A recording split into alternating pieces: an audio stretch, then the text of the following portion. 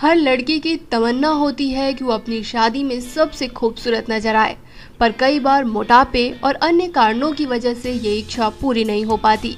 आज मैं आपको कुछ ऐसे टिप बता रही हूँ, जिनसे आप एक अच्छी फिगर के साथ साथ एक अच्छी सेहत भी पा सकती हैं। इसमें सबसे पहली चीज़ है चेहरे का रखें ख्याल।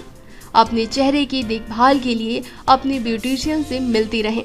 इस तरह शादी का दिन आने तक आपकी त्वचा स्वस्थ, सुंदर और आकर्षित हो जाएगी। फेशियल के साथ साथ बॉडी स्पा और आयुर्वेदिक मसाज करवाएँ।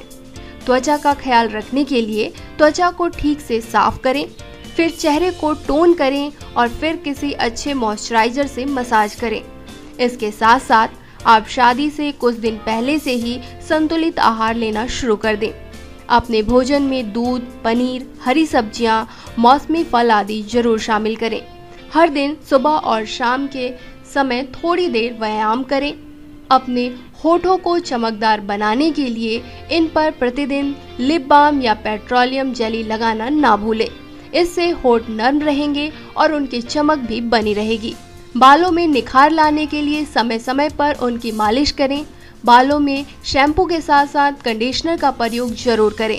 शरीर में चमक लाने के लिए आप प्रतिदिन ओपटन का इस्तेमाल कर सकती हैं।